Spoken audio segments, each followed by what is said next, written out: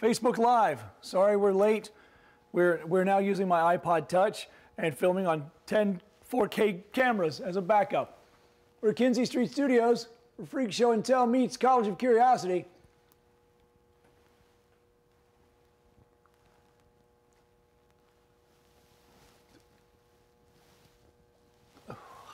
I'm Tom Britton. Let's get freaky uh, with my partner in crime, Jeff Wagg from the College of Curiosities. That's an Oh. entrance right there. That was That's perfect time. Hi, I'm here. I've got cables hanging off me. Um, Tom just lit his face on fire. That's what he does. I collect curious things, so I kind of avoid fire, although I won't be avoiding the electricity quite so much, um, because I know what fire can do. Fire can do some weird things, like this. Where should I bring this? Can you zoom in on this, or do I have to walk to you? I am holding in my hand a very strange object. I found this in Las Vegas at the Tropicana Hotel when they had a casino chip museum and gift shop in the basement. That was about 2001. That's long gone, and so is the place that's written on here. I don't know if you can see that. I can walk closer if you'd like. You can walk a little closer, yeah. It and then get both cameras. Get our, we're going live on that one and then backing up on that one. There you go. Can see, it says La Rancho, Las Vegas, twenty-five dollars. La Rancho, Las Vegas, twenty-five dollars. And uh, you might look at that this angle and say, "Oh, I know what that is. It's a casino chip, right?" But then look at it this way, and it's not. it's like a brick, and it's square-shaped. And that's because if you know um, know history, Las Vegas history, El Rancho burned down and the whole place just burned to the ground. Uh, this is the hotel. Um, this was a very historic hotel in Las Vegas, but they went through in the rubble and found things like this. This was a box of uncirculated uh, casino chips, and they're made out of clay. And under the high heat of the fire, all the chips fused together and actually took on the square shape of the box.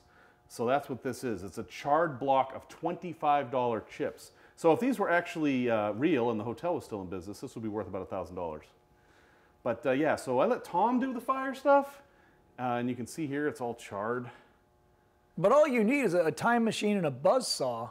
Yeah, and you cut them apart. and say, Thousand yeah. bucks richer. Yeah, I was lucky. It's uh, so I, I used to collect casino chips. It's a, it's a little tiny uh, little tiny community that collects casino chips, and there's all kinds of lore and history about them. But uh, not very many people have these, I'll tell you. So that's just a curious object we have here. Uh, where should we go now? Do you want to go? Uh, Keep moving down the table and I'll jump in jump with some of the sideshow All stuff right. as we go. But well, let's uh, let's jump into some electricity here. So uh, I'm going to bring over a device. while you're loading it up, let me remind you on, on Facebook Live, if you have a question, if you can type fast enough, you can catch us in the middle of something. So if you had a question about the poker chip thing or fire eating. Yeah. Otherwise, if you want general questions, if you've seen Jeff or I perform before, uh, so you know what these things are behind me, you can go ahead and queue those up as well. I've got uh, my friends Charles and uh, Calvin here filming and uh, basically reading your questions. And look, this is me. I'm sharing my post to my feed. There, that's done. So I'll put that down now. But yeah, we'll be happy to answer your questions. All right, long soliloquy time, okay? I have here a device. This is it. Doesn't it look cool? Doesn't it like something H.G. Wells? Like, and when you turn the wheel, it does counter-rotating discs, and it really looks like the time machine. It's very cool. So uh, let's talk about this. This is a device invented by a man named Wimshurst. And Wimshurst named the machine the Wimshurst machine, which is very convenient. And isn't it Wimshurst? It's a very it's like Lou Gehrig's disease. yeah, this is named after him. So um, he invented this in the mid 1800s. This is um, a more modern version of uh, a device that was actually common in the 18th century, which was uh, they used to make all these little things that collected electricity, and that's what this does. So I'm going to tell you how it works. I'm going to tell you a little bit of the history of this, and then we're going to do something really strange with it. You've got two counter-rotating discs, right? So you turn this wheel, and the discs counter-rotate. You can kind of see there. And there is uh, metal painted. These stripes are actually pieces of metal, and then there are brushes that rub against the metal. And then these, ah! this is live, by the way. Welcome to my world, Jeff. I've injured myself during a performance. And uh, don't touch the metal parts. and there are these little spikes here that collect the stray electrons that are stripped off by this process. And they're stored in these things. Now, these are called Leyden jars. In the olden days, before people understood electricity like we do now, um, they thought electricity was a liquid, and in some ways it does imitate a liquid. So they thought, well, how can we store electricity? And the answer is we'll put it in jars. And so um, Leyden jars store electricity. Of course, it's not a liquid, and there's actually uh, metal in there and this foil that actually stores the electricity. So basically, it's a battery. Um, although the way I have it rigged up, it's acting like a capacitor. But where does the word battery come from? Do you know? Did you know the answer to this? I'm pointing at Charles over there. Do you know where battery comes from? Yeah, no, he's he's a battery like you're beating somebody. No, um, a battery. Well, it kind of is. Um, it was actually Benjamin Franklin who saw these and saw a whole bunch of them lined up and said, "Hey, that looks like a battery." And what was he talking about? He military, right? A Of military soldiers. battery. Aha. So like Battery Park, Battery of soldiers. or uh, is in the New York, uh, way down south in Manhattan. Battery is that Battery Park down there? I don't know. We're from Chicago. um, but uh, but he saw a whole bunch of these and thought they looked like a battery. But he didn't mean a battery like we know it. He meant a row of cannons. And that's actually where the word for battery, like the battery in your cell phone or a AA battery, comes from. It comes from a row of cannons because that's what Leyden jars look like when they're all stacked Well, then it comes from Ben Franklin? Ben Franklin he gave it the invented name. the word battery, yes. Well, the, that application of battery. Anyway, this thing here is kind of cool. Now I'm going to set it up over here, and I don't know how much you'll be able to see here, but the whole purpose of this device is to do this. So I'm spinning it, and the electrons are getting stripped off, and they're getting stored in the Leyden jar, and more and more are getting stored in there. More and more electrons, and we can smell ozone right now. I can. You smell the ozone? Yeah, that's weird. Yeah, so ozone is, um, is O3. You've heard of O2? Ozone is O3. The oxygen's actually being split apart and connected back together in a very strange way. Key component of smog, but if I do this long enough, whoa, I don't know if you can see that. Uh, I've noticed that cameras often have a hard time with light, with uh, lightning, and that's what we're doing, we're creating lightning.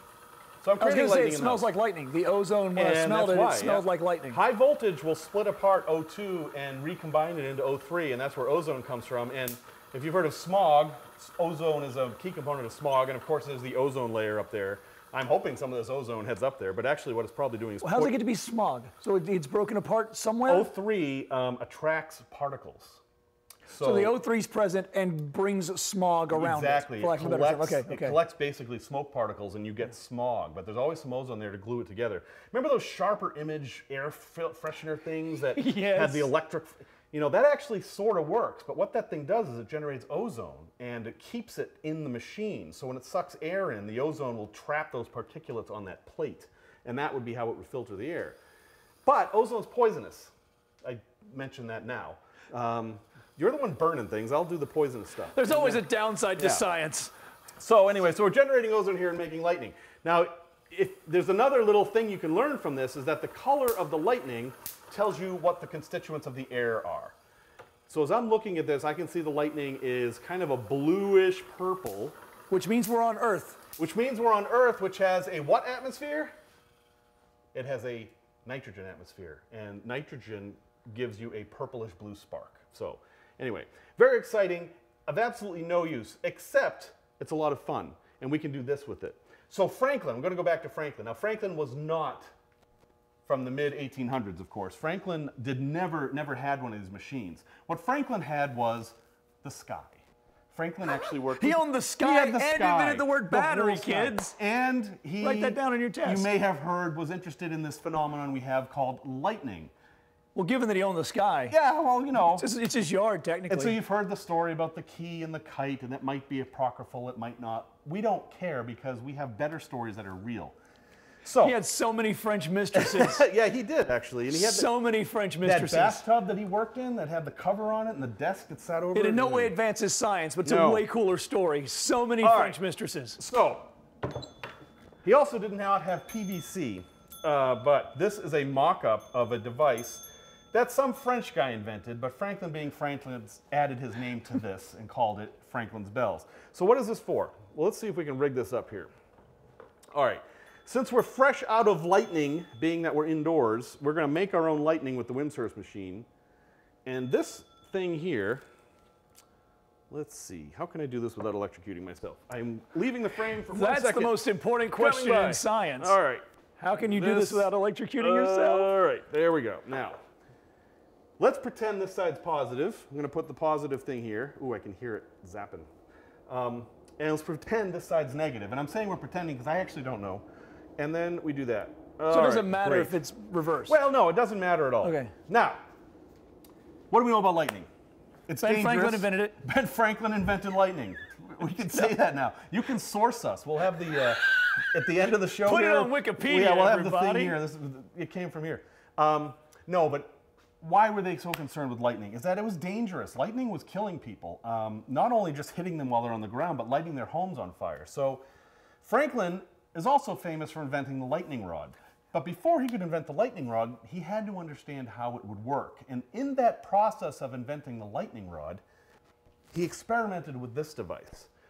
Now, if you look carefully, this is super simple. All we've got here is a wire coming from each Leyden jar and then going to, this is a, uh, a big copper pipe cap. That's all it is. There's a screw in it and the alligator clip is holding onto it and that's it. Nothing fancy going on here. The PVC is just a scaffolding, doesn't do anything. In the middle, there's a string. This is a non-conductive string. It's nylon. There's a, a little cap there and there's just a plain old screw in it. That's it. That's all there is. So, uh, what's going to happen when I do this? Well, let's see. I am now creating lightning, right? Except that I can't because I have the electric. All right. Wow, that was fast. All right, let me move that. Look at that. What's going on there? As I move, turn the wheel faster, I'm generating more power that's filling up the Leyden jars. And if I stop, the bell still rings. So what's going on here? Tom, tell us what's going on here. I'm guessing Mm-hmm. that Ben Franklin's ghost, angered Bye. That's right. by how inaccurate we are about his history, that's Probably right. if that's probably Morse code for FU, over and over and over. If we translate that later, it's just Jeff and Tom suck. Jeff and Tom suck That's in right. Middle that's what English. it is. So I'm probably not right though. no, you're not. Ah, right. close. Sorry. Um, so what's happening here is actually kind of interesting. Um, ben Franklin thought about using this as a lightning detector. So when your house is about to be hit by lightning, That's useless though. It's just look out, lightning. yeah, it's like, what do you do? Like, okay, damn, let's run outside. Oh no, no, no, don't do just that. start praying. That's about all you can do. That's it. Genuflect quickly, kids. Genuflect as hard as you can. I think I don't know. Anglicans do that. I don't know. Is he a Quaker? He I- like- yeah. He looks like a Quaker. I read the book once. I didn't like the ending. So imagine this is in your house, right? Um, the way lightning hits your house is, is there's an electrical differential between the clouds, the ground, and your house. You've got a, a dif- nature hates these differentials. Nature wants to cancel things out. You've got big plus, big minus. Nature wants to make them all neutral. And that's the same thing this is doing. Each one of these is plus or minus. That wire goes to the bell and makes each bell plus or minus. And this little poor guy in the middle is neutral, except it's not, because nothing's ever truly neutral. It has a little bit of positive or a little bit of negative, and my shaking the table makes it wave back and forth. But the magic starts when it hits one of the bells. As soon as it hits one of the bells, what happens? So you've got a neutral object hitting a negative object. What happens? Does it flip the polarity? Well, because it's neutral, it doesn't have any polarity, but as soon as it hits the negative one, it assumes the polarity of that because it completes a circuit between the two. Gotcha. So the clapper becomes negative. So as soon as it hits the negative one, it becomes negative. And what do two negatives do? Yeah, it's going to repel. The two negatives are like, get away from me. It repels. Negative doesn't like negative, so it pushes it. And where does it push it? It slides it across until it hits the positive side. And as soon as the metal hits the positive side, it becomes positive. And it's like, get away from me, you're positive. And back and forth and back and forth. The poor little screw in the middle is just getting thrown back and forth between positive and negative until the power runs out from the Leyden jars, and then these guys lose their charge. That would be a lightning strike. Once the lightning strikes, everything sets back. So there was a, I mean, okay, And you get to rebuild your house. Well, It's yeah, fantastic. it would be kind of cool to have this, but there was one major flaw with this. Not only, okay, there's lightning about to strike. What do you do? This was the major flaw, and it was it's quite simple. If you crank this up, you see that? ah, You get lightning a fire in starting your house. device. Generally, you don't want to bring the lightning in your house, and that's what this does. And actually might save your house. If you could get a big, a big, huge spark inside your house, maybe it wouldn't catch on fire. I don't know. But anyway, this is called Franklin's bells. You can make it at your home. Make it at home if you have a device that generates. Could you hook that up to like a car battery? No. No, and don't plug it, into the wall. It doesn't really work that way. don't Um, plug it into the wall. and it doesn't work with some of the other devices we have coming because I know that that's a common question. It works best with this type of setup here. So, uh, Wimshurst machines aren't that expensive. If you want to make a Franklin's bell and make your own um, electricity in your house, uh, make your own lightning, you could do this. But anyway, it's a cool little thing, and Benjamin Franklin came up with uh, with this whole thing. Finally, he realized this is stupid. We don't want to know when it's lightning's going to strike. We just don't want it to burn down our house. And so he took basically this wire, stuck it on top of the roof, and the other one buried it in the ground.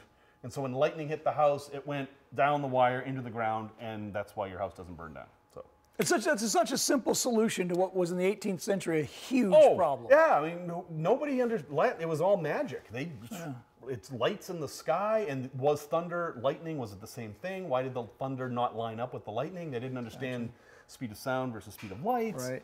Yeah, it's pretty fascinating. But uh, this is one of the things Franklin invented that we don't hear enough about. So there you go. All right, get this stuff out of the way. Oh, yeah, this is the fun part. How do I do this without electrocuting myself? This is always the fun part for me is to watch Jeff move things without dying. Ah, there we go. You're pointing to your phone, Charles. I can't read what that says from here with my glasses on. What was that? Okay. We had a comment. Go. Oh, what'd it say? It is from Tammy Slish. Yes, saying, we like Tammy." An overladen jar. Oh, Tammy who? Slish. Oh, it's a joke. She's making a pun. It might be an overladen overladen jar. jar. Sure, except it's not spelled like that, but yes. Patricia Gauss also says, Hi, Jeff. Hello, Oh, good. Patricia. Patricia is down in Tampa, Florida. So uh, Now I feel like we're hosting an FM radio show. Shout out to Patricia. Looking Yeah. romantic this evening. Here's one going out for you. Smooth jazz. Jeff and Tom in the evening. All right, where do, where do we want to go here? Do you want to? Uh, I got a Tesla coil behind me I can play with. Yeah. And you've got a Tesla coil So, over there. Let's do that. So Tom, let's switch to Tom for a sec. He's got this really amazing thing that lets him do stuff that people shouldn't be able to do without dying. and uh, Keep buying a little bit of time, and I'll This put this on the ground. Can, can you see this in the cameras? Okay. This is a, it's a, it's a basically a, a custom made Tesla coil just for Tom. It's essentially uh, a Nikola Tesla invention called a violet wand. But the, it's the foot, right? Yep. Yeah, the foot's no problem. I plan on that falling. Violet wand. You'll most commonly find them as medical quack devices. How am I for a mark right here? Okay. What is happening, in essence, I've got power coming in just from the wall. That, not from a Leyden jar and a winding. You're gonna watch Jeff pedal so fast. so fast. Or you just plug it in, yeah. And dude, this is an on-off switch. I'll get back to in a moment. Goes into a violet wand. A violet wand is a it's Tesla coils rigged together with some pieces. It- it's a power conditioner, a couple of Tesla coils, and I think there's a capacitor in there. But mostly just some Tesla coils make up a violet wand. Out of the violet wand, here's what it does: transformer. It transforms voltage, wattage, amperage. There's rules and laws. There's even laws that govern these things. You exchange rate. You give me one, I'll give you more of the others. You give me some, some wattage, I'll give you some amperage, you give me some voltage, you give me some wattage, blah, blah, blah. We trade. That's what the transformer can be turned, tuned to do. These I've got tuned as high as possible in the setting, which means I'm dumping everything in favor of voltage.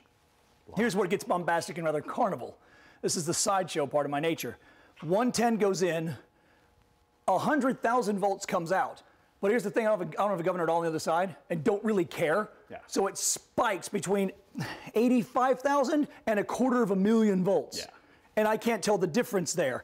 It runs out through what I refer to as my unnecessarily dramatic cable. it's just a battery cable. It looks Right so there. mean. That's part of the show, though, right? It's like Right. I'm trying to freak people out. Metal plate, and then the art There you can see it, yeah. sounds cool. So this is high frequency electricity. The cool part I thought, and this is literally a cover from Nikola Tesla's show that I'm doing right now. Uh, Nikola Tesla would demonstrate.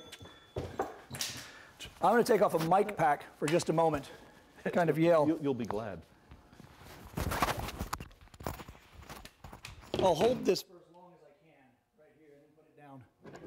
Calvin, if I completely screwed us for sound, are we okay? It's all right. You can hear me a little bit. Just grab that side. I'm gonna put this down and just sort of whoo, trip and yell. Note that he has no shoes on. So that's the contact point. I could do it with shoes, but the human body is such a terrible conductor of electricity. The resistance offered by a mostly water creature Um, not a good idea. I'm gonna have to step on that in just a second. Sorry, put it, switch sides to me here. Yep. Yeah. And then, so all you do is hold that tightly at the bottom, put it here in space. We may have to adjust lighting, but what'll happen is the electricity goes through me, it'll light this light. We'll go and step on it. So, oh, look, it even lights the Yeah, even this field. far away, yeah. And then we're now playing live video. I hear my voice coming back at me. That's impressive. Is it me? Is that showing up on camera? Joe, the camera. Is getting hot. Yeah. This is showing up on camera. Good. All right, here's my favorite part. Okay. I, this is subtle. Between these two hands, you can have the bulb change. And what's neat is that between my hands at high frequency discharge, mm-hmm. that's, so look between here and here. As I move my hands around the bulb, not much change right there, different. Yeah. That's radio broadcast. I'm technically right now a pirate radio station. Yeah, any of the neighbors listening to AM radio right now are having a hard time. hating me. Go ahead and turn it off. Wait, I want, to, I want to do something with you up there. Yeah, yeah, hang on. Put this down. I should also point out, this light bulb is wrecked. Are we live, Charles? It freaked out and kept switching the camera back and forth. What's that mean? Front and back, front and back, front and back. So we'll do it again. Uh, one more time. So the iPod decided to go selfie, Oh, yeah, regular, yeah. selfie, regular. Go ahead and crank it up. Here we go. All right, so now you know the idea. So lights just in my field, just near Yeah. me. I go near the box, in fact, it lights. When I grab it, it lights and follows my hand. The part you probably missed is that, I, I hope that's showing up on camera, that Light. this light bit is changing. That's the radio signal. So I'm able to pass 100,000 to a quarter of a million volts through my body. This feels a little warm and weird, but I'm not dead, which was the entire point of Nikola Tesla's show. I've got the bulb. Go ahead and get the uh, flip switch. All right, wait. Take I'm that gonna, one. I'm gonna, yep, okay. Um, turn it off real quick. Yep. We hurts. yeah, we, Yeah, true. that, right, we're a little too good of a Let's conductor. see what that does. So, that side. So now we're just trying to see what different bulbs we can light up. This is Yep. brand new. Hit the thing. Oh, easily, same yeah. thing. So much smaller bulb, Yep. the same concept. And see if I can ignite the gas. On, on one intent. side. Yeah. That's kind of fun. Right? You can't do that with. That's neat. All right. The other one's plasma, right? So this is a totally different kind of bulb, and I can demonstrate this on the other Tesla coil because it screws into it. I'm curious to see whether Tom can light this up. What this is, and I'll bring it a little closer. It looks like a normal light bulb, but it has kind of a, a ball in there. Yeah. And um, what's going on is that this is filled with neon gas, and each side of this acts as one side's an anode, one side's a cathode, and one side will glow so hot that it actually turns the gas into plasma. It creates neon glow like you'd find a neon sign. It's basically a miniature neon sign. That's the Is best this way the to think thing of it. that's in the magic globe, or is that different? It does the same effect, but it's different. Okay. Uh, but that is plasma. This is a different way of creating that effect. Okay. Because this, um, this will work with 120 volts, whereas most times you need a lot more voltage to Oh, excite it. yeah, yeah, yeah. But because of that, because it's so sensitive, I think it might work if you just hold it. So let's Ooh, see. cool. I think. Yeah. Let's try it. We're the first time we've done this, so we don't know. Oh yes. It's a. It's Nothing not. happens, now you touch. Ha ha. Yeah, look at So that. it works just like just like the Spencer's Gifts thing. Yeah. How does it feel on that side? No, a- and then you It's have to be little- careful because it's um, what I find is that it's uh, it will actually burn. Oh, it's a not plasma torch. well, it kind It's it's a a very plasma, yeah. very. I got you, me pretties. Yeah, it's uh. so anyway, that's kind of interesting. yeah, can you see? It's just it. If you were to plug that into a normal lamp, it would be lit up much more. But it's the neon gas that's getting excited.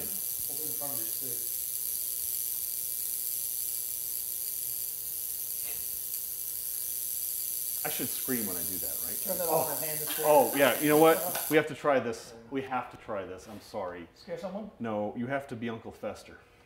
Oh, you think it'll work? I don't know. he's put worse things than this in his mouth just this evening. Ah, look, he's got the alcohol. He's, he's being prepared. All right, I don't know what this. If you die, I'm By the sorry. way, this is how you write my entire show. You and your jackass friend in a probably porn warehouse somewhere, and you go, "Oh, try this. You're not dead. Write some jokes." All right, let's see what happens. it totally works. Oh, is that bad? Why? Why roll? Ah, it's moving. Oh, I'm doing it with my tongue. Yeah. yeah, I imagine my touching that actually hurts because it's, it's not. Is it all right? Yeah? Wow. Ladies and gentlemen, Uncle Fester. My finger glows if I hold it. Yeah, it's pretty cool. Now, sadly, um, these are hard to find. They were sold as they're called sun bulbs, and they're uh, made in China. And um, thank you. I got. It's interesting. No residual electricity. Once you shut that off, there's no shock. That's the violet wand. Yeah. There is a thing in there, I forget what it's called, to dump any residual. These were sold as quack medical devices. yeah. And Right. so Yeah. ironically, it was a safety feature they put in so they could sell it to as many suckers as possible and they wouldn't come back and go, I burnt my hand. And the reason they call it a violet wand is that um, it, it looked like this actually, and it glowed violet color. You'd wave it on your arms and stuff, and uh, yeah. So, So that, speaking from behind the camera, yes. uh, has a protective plastic shield on it. So I'm very curious to Oh. see. So hold I've been wanting to try. what, what was the question on there? We had a quick question. Yep. I believe it is about the plasma bowl. Yes. This is from Benjamin Wilson. Yes. He asked, will it get hot enough to melt the glass? No. Uh, I, well, at least it hurts long before it does. so I'm not going to stick my finger there I long enough. I presume he means like if it were against something and pulling that heat, would it eventually, or is I- it heat tempered enough? Hang on. Do we need to repeat, Charles, or or is he picking up on the mic? Uh, I mean, it's Go ahead, go really- ahead. That's okay. Do it, do it quick. So, um, the, so the question is, will this get hot enough to melt the glass? And the answer is, it doesn't actually get hot. Um, believe it or not, even though this is plasma, in, technically it's excited neon that's gone beyond the gaseous state to become incandescent plasma. Ooh. Um, it isn't actually that hot. The voltage is low, and almost all the energy is being dumped into light. So if you go out and touch a neon sign, um, it'll feel warm, but it's not like super hot because it's geared to. That's why they use neon for this. Is that It's it shedding all of its energy. all the energy becomes light, energy. photons, and, and there's a bunch of static and stuff too. I mean, a lot of times you hear neon signs that they'll make a noise. You know, like, I want a neon sign for this. Yeah, it would work. It's just off the uh, transformer, Yeah. and I want it to say science. That would be So awesome. I hold it there. You but totally the problem is I can't buy one without buying the expensive Right. part is the transformer. Exactly. The artisan to actually bend the glass Yeah. It's not the pricey point, but they won't just send me a sealed tube Right. of gas that they made that said science unless someone out there knows somebody. Yeah. I had to buy the big thing though and then throw it in the garbage. Yeah. Or make a Jacob's ladder out of it maybe. You could. It would be good for that. This is what would you call it? It's a TV bulb, it's a TV It's quality. a, it's a Kino, which is A the Kino. thing that's right behind you that I'm using as a backlight. So these if they're on camera. Special these- lights. These are Uh, these are that is much one that should be very green that we used should to be like very for- green. Yes. All right. So Ready? hold get a contact there. You want me to That- touch the has metal? Yeah, yeah, cover on the it. bottom. That's All what right. I'm curious to see. So I am touching the metal And I'm part. gonna try and see. I should be able to go through, but then I think I'll get my most from over here. All right, Go let's ahead and see. light it up. I want to see Here if we the go. field does anything. Oh. Yes, it does. All right. So that's just me, and I'm not okay, touching that's anything. radio though. Look. Yeah. Between our hands, then is a radio broadcast. Yeah. Oh, and I can feel that. All right. Now what if Oh, I? I can feel that too. Yeah. Wow, that is Yeah. not fun. So okay? none, yeah, none of it's none of it's bleeding out the glass. the It's all outside. yeah. Yeah, if you touch the metal and he touches the Yeah. metal, it is uh, not pleasant. it is uh, It's not lethal and I apparently. just ate fire, and I'm telling you, it's not pleasant. But this is okay. That's- Look. Yeah, Tom, you're gonna have to buy one of these. Well, we wanted to test it because I can, but they are expensive. Yeah. So that was a household, and this is a. Go ahead and let go. okay. So that's Okay, so look, that's in plastic, so you without don't a break ground, I it. can light up. Without a ground. Yeah. That's nuts. Those don't light without Yeah, a ground. that's pretty impressive. This does nothing. So, well, I guess I'm changing the frequency. oh, Calvin. I'm Oh. buying you one of those. How many colors do they make? I need one of each color. Go ahead and turn that Okay. off. Pass that to you. Got it. That's super cool, That's pretty man. fun. So this is a Kino Flow Also, Green, ouch. 75 watts. An F42. I'm just gonna the buy some from his dad at Yeah. Kinzie Studios. Well, you know what you could do buy is some used ones. get used ones that they don't, or just get them to donate used ones. Here's a different color. Shit, yeah, bring it Uh, on. all right. This is, this is a daylight. All right, I'm gonna put this here. So, so this My apologies if you're tuning Got in to see a So show. it's cool. We're now just really playing with it. my All right. toy. So he just handed me another one. Exactly one. Uh, Kino Flow uh, KF29. I don't see. Uh, does this have the color listed on here? It's a 32. It's to match a tungsten, so it's a 32. So blue. Yeah, it's actually not written on here. No, tungsten should be uh, pretty much yellow white. Yellow, white. Okay. Yeah. All right. So. Let's uh, do this. So just get a big grip, but don't do the Yeah. metal. right. yeah. We're done with that, That part. That was all done. All right. Ready? Here we Go go. it. Oh, sorry. So this is. about the same. Yeah. But okay, let go. So these, these still, It's a this warm is better light. than that one will do. If I don't have a ground, um, in a pitch black theater, I can see this. Yes. About this much on the household. But this is just That's just the feel mostly from the box. I'm a terrible conductor of electricity. I never studied in school, and uh, because I'm a human being. So that's mostly just the field that can go out. So it, it's about the same way over here, about the same way up here. That's that's not me. That's the box and the surrounding area. Turn that off. On You got it. Boom. All right. So the green one's Pretty the cool. winner. And so it, people People look people way watching this understand the electricity is not going into his body. It's just running outside the skin. Yeah, it's called surface current. Yeah. DC current, direct current, static current, or surface current. This is uh, Tesla expending DC current from an AC device, AC power device. So it's the transformer. That's what it's transforming, and then that's why you can also have such incredibly high voltage. For whatever reason, when the amp, when the, when Mm-hmm. the hertz happens, it hurts. It literally the pun, like it, it hurts. It hurts, hurts, 100,000 yeah. volts of AC current, very bad. Um, Yeah. DC current, when I have two of them going in Yeah, mm-hmm. tandem, it spikes to a million volts. I don't even mention that on stage because it just sounds like now I'm just making stuff up. Yeah, that's but a there's lot of no volts. limiter on the other side because when I had some friends help me build this, they were like, you know, it could be eight million. It's You're the- not even going to feel the it's the amps as that a get you. It's and I've done this 500 times, and uh, you, I, i- different buildings, all that. This explains a lot. Yeah, yeah, right. and I'm growing another nipple. I don't know if that's related. I'm just saying. Supernumerary mammary gland. Nice. That's a good name for a band. Are you gonna do fire off of that? oh yeah, yeah. Let's do the um. All right, yeah. So yes, we'll do do that. the finger. The the tongue takes a bit of practice, and Jeff and I have not rehearsed. I uh, know. So hang on. You tell me what to do. Um, if you haven't seen Freak Show and Tell, these are metal torches. If you missed the very beginning of the live broadcast, I'll, I'll do. I'll eat the fire after I light Yeah. the fire, so they can see it again. I'll get very close. I'll do both cameras. So the metal rod runs all the way through, pokes out. Man, my finger feels weird from that light bulb. That's strange. Yeah, I may grow a sixth finger later. Um, right there. So it pokes out. So then I have a think of it like a spark plug. I have a contact point. That's my air gap on my spark plug right there.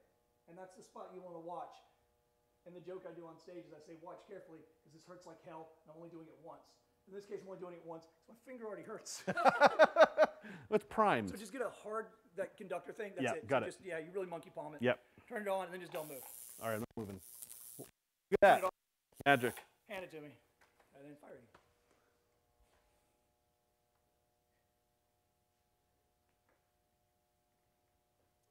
I'm, I'm not used to there not being applause.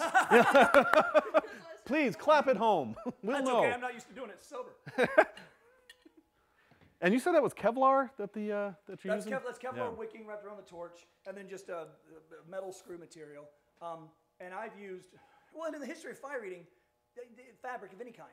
Yeah. Anything that will hold the medium, excuse me, hold the accelerant, has been, can be, and will be used. Is that the right spot? I'm gonna turn this back on. So as long as it doesn't burn itself, you wouldn't want to use cotton. I mean, you could, I guess. You do. You use mercerized cotton. oh yeah, Mine yeah. came out of the clip, You got that? Okay. and you don't have to do that. I've dumped you on the mixer. Sorry. Okay, so it's He's live been- now. It's and I'll been fix dumped. This. Sorry for the noise. There isn't any. Good, thank Because you. you're dumped. Yeah. Got it. Ah, Should live good. TV. Good. All right. Yeah, the only advantage to us doing this, this is sort of just live farting around podcasting, is I'm a live theater performer. So I'm completely cool right Yeah, I now. don't with like, I don't know. What do I do next? Let's see what I got in the pockets. There's no know, yeah. fourth wall. I just, you know, and I, I'm walking in front of Tom, which you never do, but I can't walk behind him. It's bad blocking. Um, so I've got some weird stuff over here. Uh, we're gonna save radiation for later because that's kind of cool and visceral. I like, so now we are professionals. Coming up, radiation. Yeah. Stay tuned. Ionizing radiation, even. Ooh, my favorite kind. All right, uh, let's talk about. okay, so, so my shtick is, uh, I'll stand over here. My shtick is, Put my socks on off I camera. collect things, tell you what they are, but they have to have a story. Like the Franklin's Bells thing. I write the dick jokes. the Franklin's Bell thing, uh, if I didn't tell you the story around it, it wouldn't be as interesting. If I like, yes, and then the current flows between the bells. As you know, that's not my thing. There's got to be a story. So I have to tell you about Franklin. I have to tell you about the batteries, and that's why this is Happy Fun Rock. So I'll walk a little closer if that helps. Um, this is a piece of rock.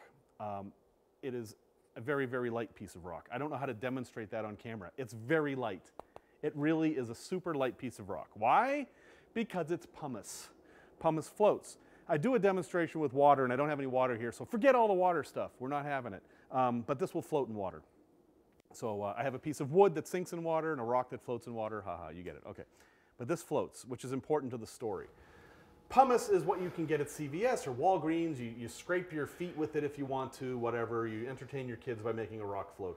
This is a very special piece of pumice because of where I found it and how it got to where it was. In 2015, I took a group of people to Oceania.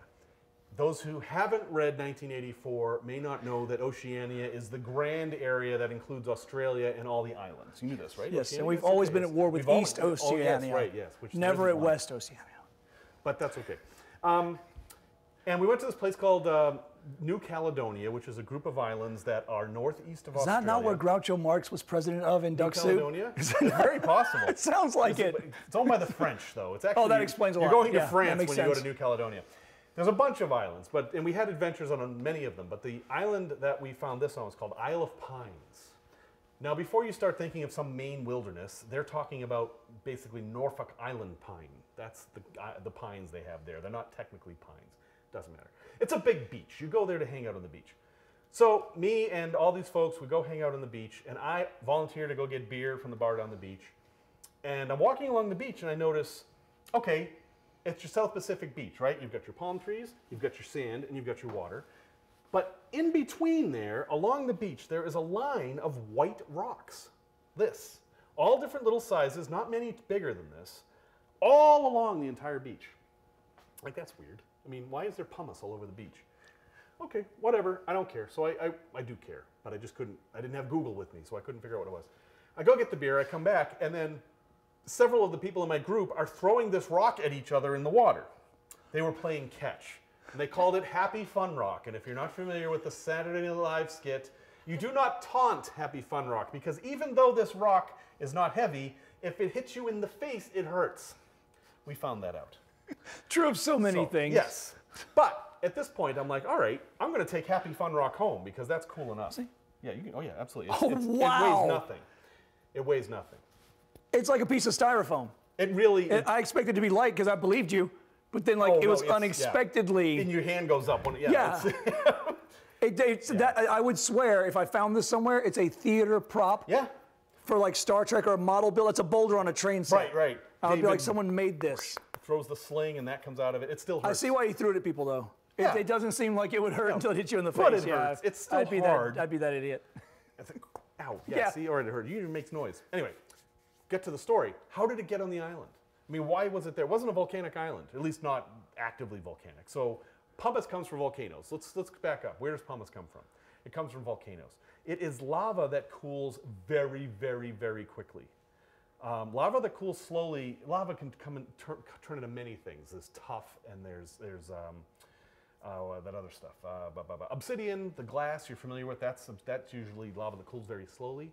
This is lava that cools very very quickly. With the exact same lava, but three or four different It- the variances. Lava can Variances? be made of a whole, but there's basaltic lava, and Okay. uh, I actually know a volcanologist. She should explain that part. But- Gotcha. But the basic thing about pumice is that someone's being mean, aren't they?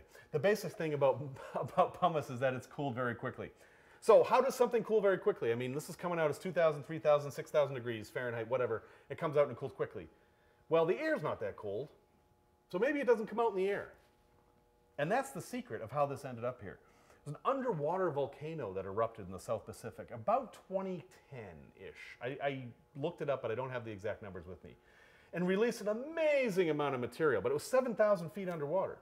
So nobody paid much attention until satellite imagery started showing something on the maps that wasn't there before, on their imagery that wasn't there before. It was an island, the size of Connecticut, that moved. Uh, the volcano Party had island. produced a floating island of pumice in the South Pacific.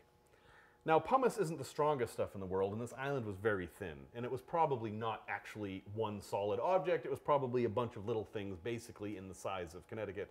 But it broke up and it, it eroded very quickly in the water and it got worn down.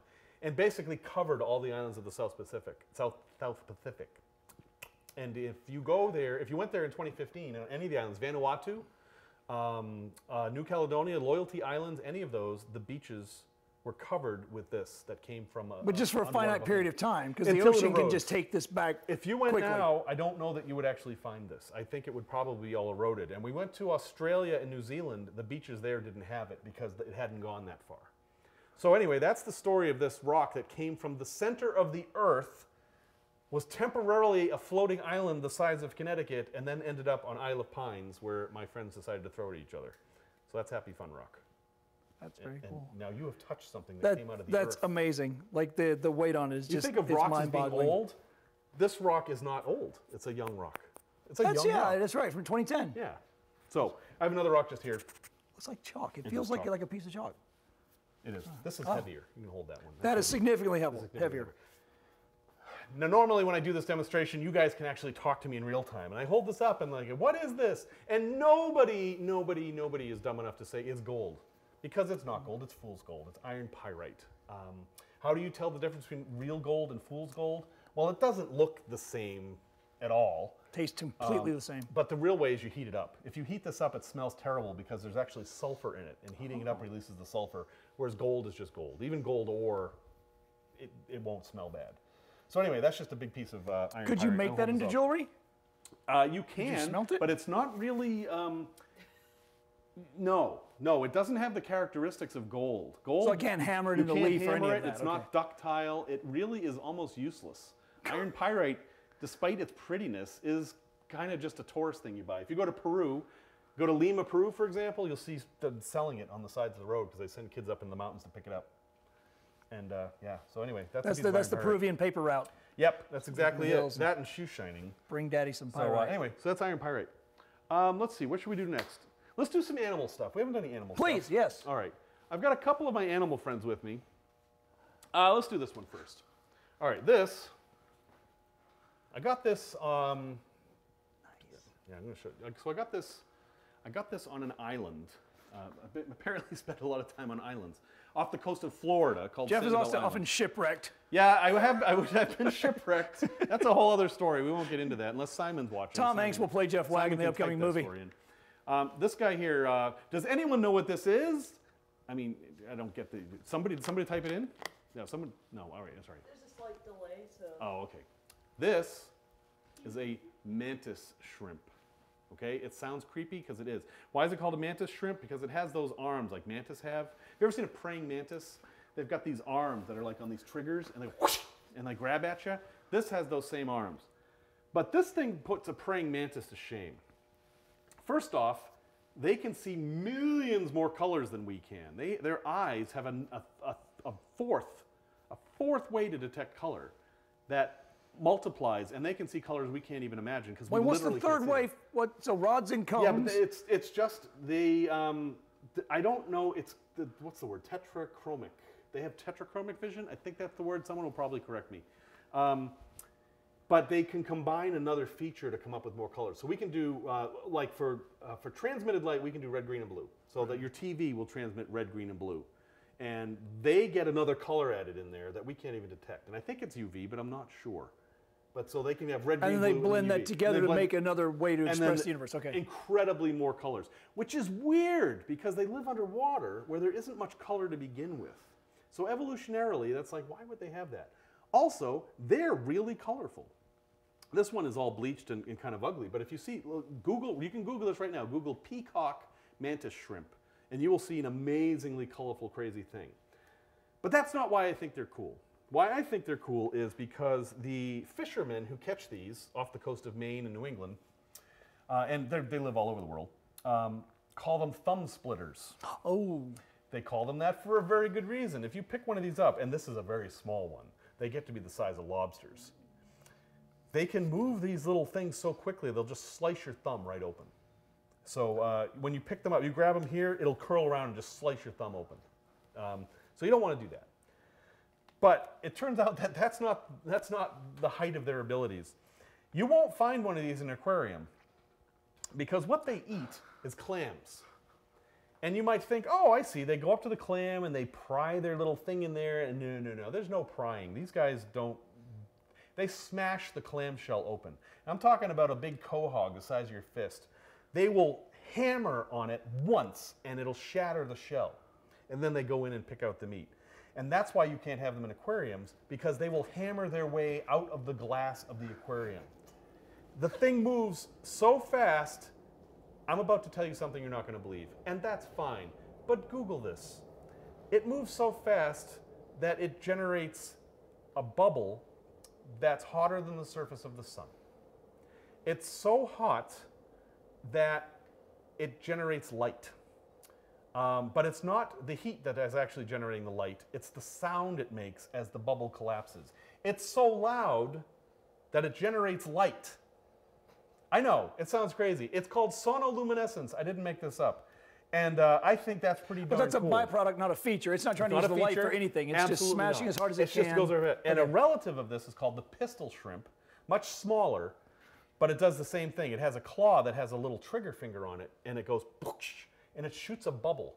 And that bubble is a projectile. It will shoot it at a fish, and that bubble, when it hits the fish, is so it generates light. You can find YouTube videos on it. Google pistol shrimp light. You will find it.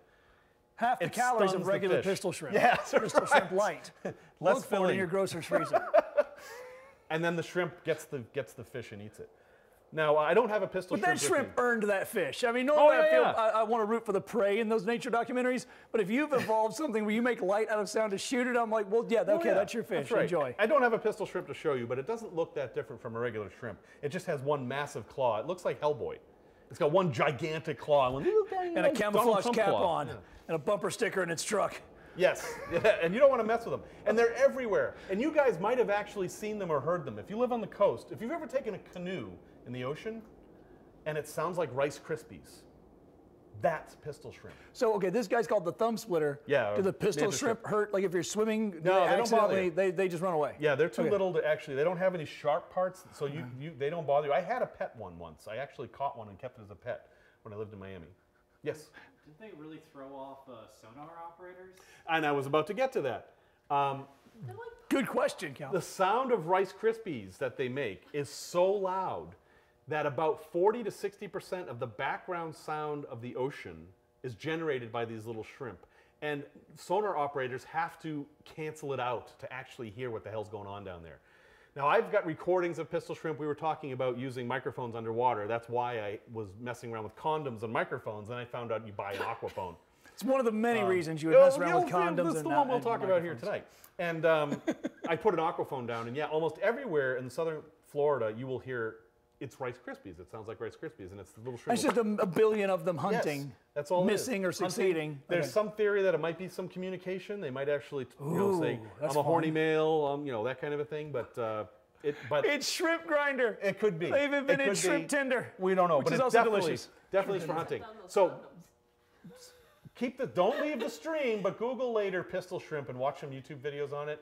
It's absolutely incredible. And now you know that sound can be loud enough to generate light. Do we have any examples of that? So, so uh, do humans, uh, like, like No. we signal with lasers or something? Is there a reason to use concussive? What do you No. call it? Audio, audio sound? sonoluminescence. Sonoluminescence? Is there a Not really, use? because uh, it's very, very brief. Um, and if we could, the amount of energy it would take us to generate a constant stream of light from sound probably wouldn't be worth it. But Okay. Ben and Jerry's did experiment with uh, freezers that worked on sound. There's a whole other story. So Ben and Jerry's, um, they're a business, and they try to make money by spending as little money as possible. Sure. So they spend obviously they spend a lot of money on refrigeration, even more than other ice cream companies because of the way their ice cream's made. It's very dense and there's very little air, so they have to really super cool their stuff. And the way they do it is they have a gigantic uh, freezer and it's on a conveyor belt. The conveyor belt sends the ice cream in, and then it goes on this big spiral. And it takes hours for it to get to the top. And by the time it gets to the top, it's frozen, and then they ship it into a warehouse. So that's how oh. they do the transition. But they thought, hey, we just discovered this new technology. I actually think they read about it in Scientific American, where sound will make things cold. Now, what that doesn't make sense, right? How can no. sound Well, the light didn't either. I'm completely in Yeah, I know it's, here. it's it's crazy stuff, but this is real. I've seen it break a glass. That's the most I've ever Yes. seen. I don't understand that that either. Well, okay, we can we can go from that. So sound can break glass. Why? Because it's a vibration. You can find the harmonic Ghosts. frequency of glass so that it'll shake, and every time it shakes, it goes farther and farther and farther until the glass isn't strong enough Okay. to hold it. That's how sound breaks glass. Very simple. What is heat? Heat is molecules moving. right? That's all heat is. Atoms, molecules moving. That is the definition of heat. More heat means more movement. That's why things melt when they get hot. That's the kind of the idea. And that's why liquids turn into gas because they're moving more and they're getting farther apart. Basic heat theory. Sound can concentrate energy so much that it can freeze those molecules in place, depriving them of all movement, thus depriving them of all heat. So if you can create a chamber that is that loud, you can make ice cream. And they actually had a working model of this. It worked. It ab- now nobody could be in there. You'd be deaf and then dead right away. But the ice cream's not, you know, the ice cream doesn't care. So the ice cream just it, it would actually freeze. Um, not using any refrigerants. It would basically freeze at room temperature. And they were probably doing this research when Freon was the thing we were using Yes. to refrigerate, and so it was That was expensive and bad for the planet. It was about that time we were switching from um, R12 to R22, and now we're onto R134A or whatever the hell it is. Uh, R just stands for refrigerant; it's different chemicals. And then in the end, they didn't. They decided it, there were so many problems with it. Uh, it just wasn't practical. I mean, whenever you invent a new technology, you have to come up with maintenance schedules, Yeah. and nobody else can fix it, and it's just expensive. And you know, they just decided we'll just use the traditional stuff. Anyway, we're talking about ice cream because I'm holding a dead mantis shrimp, and that's how this stuff goes sometimes. But I have cooler animals. I have cooler animals, cooler even than this. And I have Mickey Mouse. We're at, we're at 50 minutes. Okay. 50, 5 0. All right, Thank you. we'll you have questions or comments, Do you have anything to talk about? No? Okay. So, you know things can fly, right? I'm aware. People can't fly unless we build an airplane. Yeah. Uh, mammals can fly, right? We have uh, Yep. uh, bats fly, right? Insects, many, many insects fly. Birds, aka modern dinosaurs, fly. Okay, fine. Amphibians, apparently they can. Uh, I'm holding in my hand Wallace's flying frog. This frog can fly. I'm gonna hold this very still for the camera. Now let, let's let's define our terms here. What is flying? Flying is gaining altitude under your own power for a sustainable length of time. That differentiates it from jumping. I learned this from Woody from Toy Story. Otherwise, you're just falling with style. Falling with style. And actually, what the Wallace's frog does is it falls with style. But it has a whole lot of style. If you look, you'll see that it has webbed feet, like all frogs do. But it uses them as wings. It's a tree frog. So it lives in trees. And if it wants some prey or it's about to become prey, it will jump out of the tree and it will fly. And it can control, it, it won't fly, it'll glide. And it can control its glide. It can go around trees, it can, it can land where it wants, it can go down like this, or, I mean, You it's can get amazing. sponsorship from Red Bull. Yeah, You absolutely. You Get a can put a little sticker right next here. to its dreadlocks. So this, this is a flying, a flying frog. I bet you didn't know there were flying frogs in the world, but now you do. And they're actually not even that uncommon. the shrimp are packing heat, and the frogs are and coming the frogs for your are face. flying. But we missed a whole category of animals. The ones that turn to smoke. No, who didn't Uh, we talk about? We talked about birds, we talked about Yeah. amphibians, insects, we talked about mammals. Who are we missing? Reptiles. Oh, yeah, thank Are you. there Thank flying Charles. reptiles? Yes. God no. There's two Why? examples. Two examples. Why? And unfortunately, I don't have my flying dragon with me, but I can tell you about it. Uh, one of the interesting things about the evolution of flight is how you fly. I mean, basically, all creatures, whether they're uh, insects, are a little different because they have six appendages. Arachnids have eight, twelve, whatever. But all um, warm-blooded and most cold-blooded mammals, uh, animals rather, have uh, two appendages and a tail, right? Uh, uh, two sets of appendages and a tail. So if you're going to fly, you have to modify something. So birds, uh, they modified arms into wings, right? Bats modified arms and hands. If you look at a bat wing, it's mostly a hand. The arm is still kind of there, and the, the webbing is mostly on the hand. And that's what frogs, the flying frogs did. Their feet, um, they're just their hands. You can see they still have their legs. So when they close their feet up, they're, they're not impeded in any way. They're just like a normal frog. Reptiles, You're a superhero frog. Yeah, it is. By day, he's mild mannered Croak Kent, but at night, he's super frog. Are there Rep- a lot of telephone booths in the jungle? Yes, yeah, yeah. They just go in the telephone booth and then poosh, they're gone. It's amazing. But reptiles, To save the day. reptiles have invented flight. Again, we're talking about sustained, controlled gliding in this case, two different ways. So one reptile that can fly is the flying dragon lizard. So imagine a lizard. If you live in Florida, Texas, somewhere down south, you have lizards running all over the place. Imagine one of those, little guy like this. How does it fly? Does it have wings made out of its arms and legs? No. Out of its hands? No. it uses its ribs. It has, they have movable ribs, and the ribs come out and stretch the skin into wings about this big. And then they- Relative to your body size. well, yeah. So if I were one of these yeah. lizards, the Okay, wings would be this big. I was just picturing. well, yeah, like, you know, it's a lot of wings. I I didn't want to live in Texas for a few reasons, but I've just They don't live discovered a Texas. 30th They're reason. from Indonesia. I'm sorry about the mic. Um, but they will, um, they will, the same as these, they'll jump from trees and use that to their advantage to either get prey or avoid becoming prey. Again, it's controlled gliding. But the key, the, the king of all flying animals, the one that has done the most amazing job of turning a shape that shouldn't fly into a shape that does, is the flying snake. Imagine a flying snake. Whatever you have in your mind is wrong. it's wrong. They don't have wings. They just look like a regular snake. If a flying snake was on the ground here, it would look like a regular snake. You wouldn't think anything of it until it climbed up a tree and jumped and flew. Little complex to explain this. How does it work? Again, it's with the ribs, but not like the lizard. The lizard spreads its ribs out and makes a wing. The snake turns into a frisbee. That way? Okay, how does it turn? Does it bite its tail? No. What it does is it. So imagine a frisbee. Okay, imagine I have an actual frisbee, and I should actually do this. I should get a frisbee and cut it. So take a frisbee and run it over a bandsaw twice, and you get a strip of frisbee. That's the shape that the snake turns into with its ribs. So it's, it's a big, long, Okay. shaped like a frisbee, and then it makes an S shape with its body. And that concave body section at the bottom becomes a lifting body, which is a concept in aerodynamics that it can fly for like hundreds, let's say hundreds of feet. Um, just if it jumps out of a tree, it will go almost like this. And it can, it doesn't have as much control as other animals, but it will do, it's like a sidewinder in the air. If you see it, it's like swimming through the air.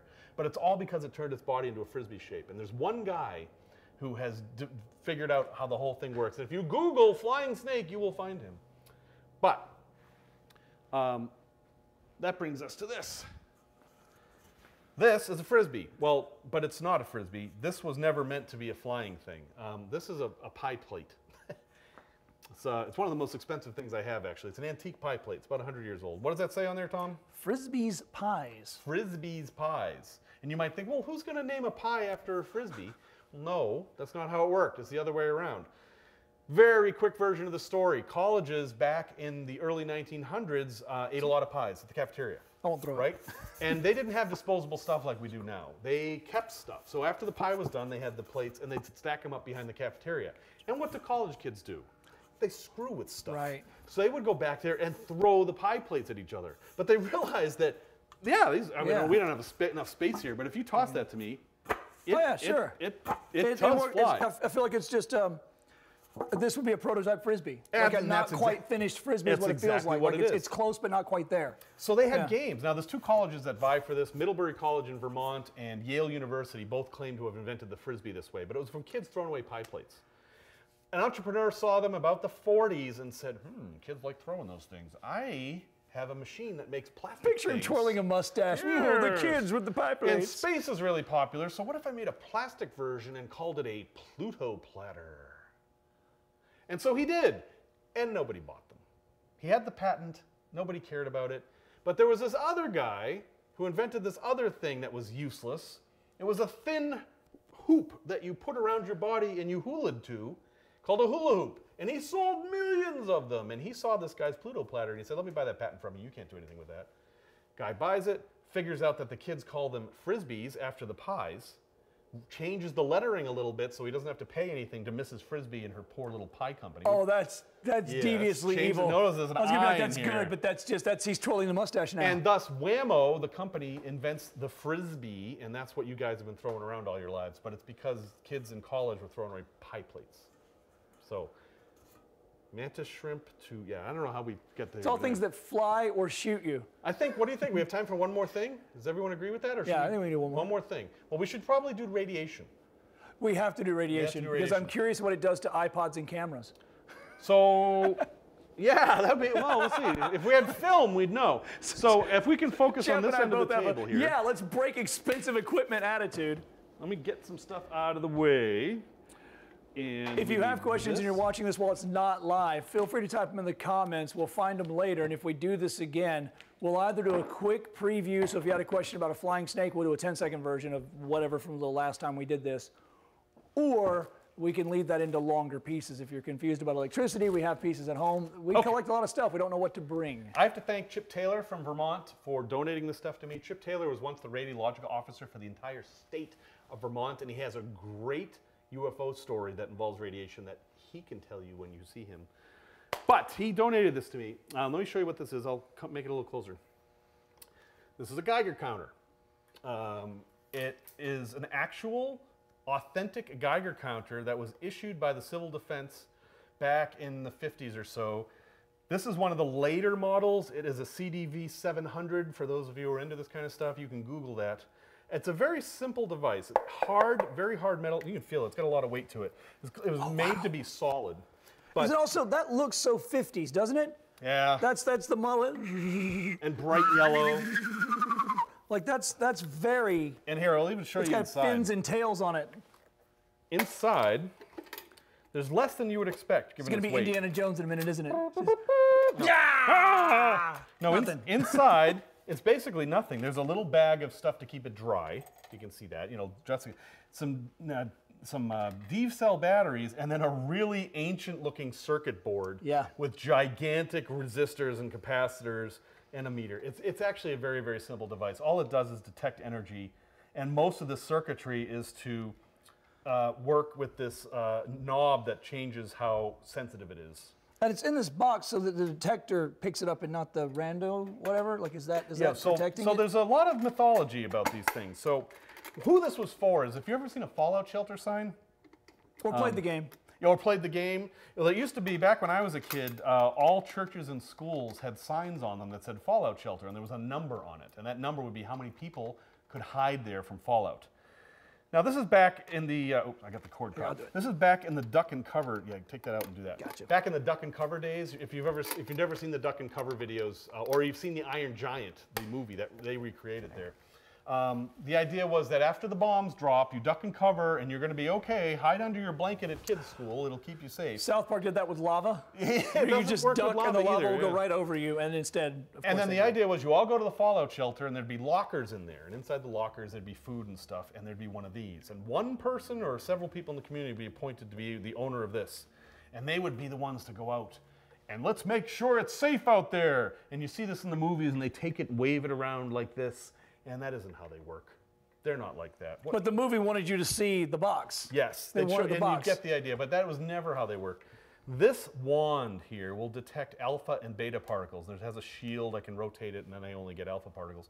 But um, you got to be close to something. And let, here, let's, let's do a demonstration because I happen to have a bunch of things that are radioactive. Now, I've, I've modified this. Um, the original, you would wear this headphone and like this. It's super uncomfortable. It has this really bizarre connector that you're never going to That find is one also Yeah, isn't, 1950s. it, isn't that just like, you know, doo, doo, doo.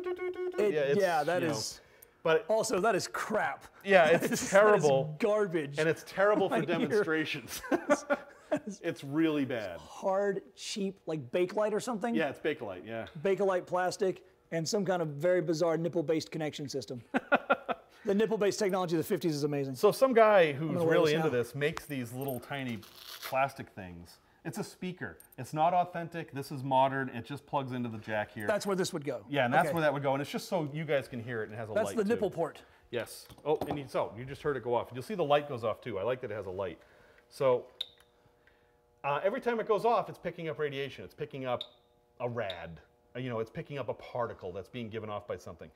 Now we haven't actually done anything with radiation yet, and it's already going off.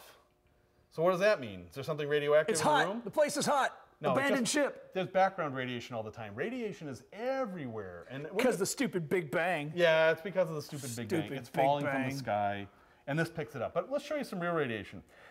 Now, one of the really strange things about these boxes is that they're radioactive. now, you might think that's strange, but it actually makes a lot of sense because how do you know it works? You need to have a source of radiation to test it. So on the side here, there's a sticker. And in the sticker, there's a black dot. And under that black dot, uh, dot is a piece of something super radioactive. How radioactive? That radioactive. Okay, the needle is pegging. Yeah, now- floor. You can see there's a needle here, and it will peg depending on how.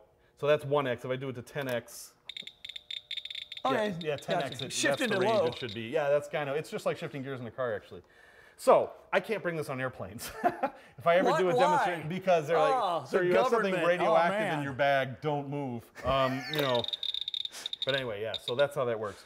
But sorry. So if you had one of these things and you were in this situation, it, it wouldn't really be all that helpful because there was a very, very big flaw in these devices.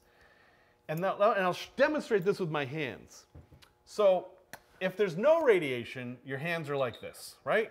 That's a zero, okay? Okay. If I, that's a clap, that's a particle. A particle, rad right? hitting the thing. Okay. All right, whatever. Yeah, it's a rad. Me, rad's a measurement of particles hitting. I, Oh, okay, many gotcha, gotcha, definitions of that. We won't get into that. It takes too long. But so this is like the thing, right? I'm detecting radiation, right? And I'm really close to radiation. It's like this, right? What happens if I get to something really, really strong with radiation? Oh yeah, yeah, yeah. It does that, and the machine says zero, but you're actually dying. Um, there's, it was great at detecting radiation in a certain range, but if you got on either side of the range, it would say zero. That's not good. No. You don't want zero when you're dying. Yeah. So whether these would not have know that flaw, or did they just accept it as okay? Well, we wouldn't need to know this data. I mean, because you know Yeah, they knew that all this right. was all a show. All of this radiation stuff and duck and cover was all for show. Even the shelter, It the have- it lockers. It, may have helped you for a little bit, but you were dead. I mean, I guess the world is destroyed. Having a ham sandwich isn't going to help. if you look at. Hiroshima, there was nobody climbing out of the cellar saying, "Oof, thank God I hid in there." I mean, it wouldn't matter, and that was a little dinky, tiny little bomb. Anyway, um, so you might have stuff in your house that's radioactive, though. What's what's in your house that's radioactive? And the first thing people say is microwave. Well, yeah, we'll get to that. Yeah, microwave oven. No, microwaves cook with radiation, but they don't. It's not ionized. Well, it is. It's it's a bad radiation. You want to have your arm in the microwave, but it's not the same kind of radiation that this will detect. It all it does is heat molecules of water, and that's what eats your food. No, you've got other things that are radioactive, like smoke detectors. Smoke detectors. If you open up a smoke detector, you see a little radiation symbol on there. That's because there's americium in there. Um, but that radiation is so weak that this won't even detect it. What else, though? You said You said one. bananas. Bananas. Bananas are in fact radioactive because they have a lot of potassium. It's not enough for this to detect. It's a very little. what about a boatload, like Harry Belafonte would sing about? If you ate the boatload, then maybe you I'll would get enough try. radiation to have an effect on you. Um, granite countertops can often be radioactive. And there- what, pa- walnuts, pecans? Brazil, Brazil, yes. well, the hey. the All right. So if you haven't heard this story, dark story time, kids. you know glow in the dark. bed. Glow in the dark technology was super important for the war effort in World War II because pilots had to fly with no lights, but they needed to be able to see their gauges. So this is where this all ghosts. comes from. Um, and they discovered that radium, radium, Marie Curie discovered radium. Radium could be made into a paste that could be applied to a paint, and you could paint radium on things and it would glow green. Now, if you've ever had a watch that glows in the dark, I mean, I'm wearing an Apple Watch, that doesn't count, but if you've ever had a, oh, you know, a glow in the dark one when a watch, kid. and you hold it under the light and then it glows and you're like, ooh, cool. Forget that noise. These things glowed bright. They were like lightsaber bright and they were cool as hell. Unfortunately, they were giving off radiation. and the women, it was often women who painted those on there by hand, started dying in mass numbers because they would take the paintbrush, lick it into the paint. They were the sharpening number. the point, They so were they would like twirl it between point, their right. lips to get a nice tight And 12, they- 1, 2. Those poor women, the horrific things that happened to them because they were basically eating radium. But um, if you have uh, if you ever go to an antique shop and see a clock like this, this is a radium dial clock. You wanna hold it? Yeah, you hold the hold the, the yellow Okay, part. got it. All right. So It's set to 10x. yeah, that's fine. Okay. Um, now, if I put this in the dark, it won't glow. So you're like, well, what's the point? Because radium is radioactive. It has a half-life. That means it loses energy over time, and the half-life is the measurement of which, how long it will take for it to lose half its power. The half-life of radium is relatively short. This is so old that it has lost so much energy that it doesn't give off light anymore. But you can hear that Yeah. it does give off radiation. So Point one. point on one one. on the one X On scale. the so one. it's very So it's, it's detectable, but not all that much. That's the lowest setting on the dial. So that's something you might have around your house that get that has radioactive. Ooh, it spiked to three. You also might have this. This is a marble. Okay, it's a marble, but what's the marble made out of? It's made out of something called Vaseline glass, which is a marketing term that changed from its original name, which was uranium glass. Why do they call it that? it has uranium in it. Mmm, delicious. And it is really not that radioactive. Um, you can set it to it's one. it's yeah, it's set to one. It's not you even. can hear it. It's a little just, bit. Yeah, it's a little bit higher than background radiation, so it's not dangerous. But, But it is does wiggle when you get the marble near it. It there's something. And another thing that's radioactive, and this this doesn't pick up anything uh, because it's so low. You may not even have seen these, but if you're a Boy Scout or you've been camping with a gas lantern, um, these are called mantles. And if you've ever seen a gas lantern, even if you go to like Boston or Newport, Rhode Island, where they still have gas lights on the streets, there's little bags that hang from the gas jets. And what these are is there, it's a cloth that's impregnated with a radioactive element, believe it or not. And the way they work is you light them on fire, and then the ash that remains is what holds the gas in place. So when it's time to light the lamp, you light the ash on fire, and the gas stays in that bag of ash. And the radiation is in there, the radioactive element is in there to make it bright. So these are actually radioactive. You losing my mic? It's it better? flip. Hey, I got you. Oh, he's gonna fix me. Yep. So, Go. if you've ever gone camping, you might have had radioactive lanterns. Um, very quickly, um, let's do this. So then I got this can. Would you like to hold the can? Sure. You sure? Oh, Open the can. oh, my mama love her. Don't breathe. Well, you can open it, just don't breathe after you. No, Wait. all right. Go Why can't I open the can, can? Oh, there the it is. can. Got it. Okay. Not breathing. In the can, there's a bag. Take out the bag. It's a Ziploc bag. Now, you've seen some radioactive things. Um, this oh, is great. I just read the bottom of the can. this is a really radioactive thing. You hear the difference? That's that's pretty intense. So what do you think that is? uh, I have a theory. yeah, is it what it says I in the think can? it might be high-grade uranium ore, uraninite specimen. And if I'm, oh, I think the vintage is Colorado, USA. if I know my, my radiation properly, that's what. That's a good. That's a good bit though, because this is on top of that label. You pull it Yeah, out and you're like, like, you what? mother. It, the label fell. Oh, wait. See, there you go. Hey, don't lose my label, man. There you go. So yeah, that's actually uranium ore. Now that's Here, you not need this uranium. This isn't uranium. This is uh, this is ore of uranium. So You would- unrefined. this is what you would un- What's mine. enriched? Is Yeah. that the word? Well, no, that's even different. Different. you Is this would- lead? No, it's just uh, it's steel, but it's enough. And I'll demonstrate that it's Oh, enough. Oh, gotcha. Okay. Now this is uranium ore, and uh, this is where you get uranium from. So this is not like I can't make a nuclear weapon out of this or anything. I could make a dirty bomb out of Let the maybe. CIA note we are not making nuclear weapons at Kinsey Street And Studios. I will demonstrate- Despite all evidence to the contrary that, that we are it's in the clearly can, making. it's a it's less. it's less. All right, it's less. It helps a little bit. You know, I The live with this you in my get house. is diet cancer Yeah. at best. Now, where would one buy this? Where do you think? How could I even get this legally? Where do you think I bought it? Libyans. Oh. That's No. from Back to the Future. I'm Sorry. It's Yes, the Libyans, the. Libyans. They found us. Gaddafi willed it to me. No, where did Other than? Libyans in Where do you 1983, get I don't have a anything? theory. Where do you get stuff? Oh, Amazon.com. Amazon.com. yes, I bought the uh, uranium ore from Amazon.com. So there's a record yeah. Now, um, tracking. comes with a handy dandy manual. Um, from 1942. how to build uh, how to build shelters. You know uh, how to survive the nuclear war that's about to come. This could be useful information again.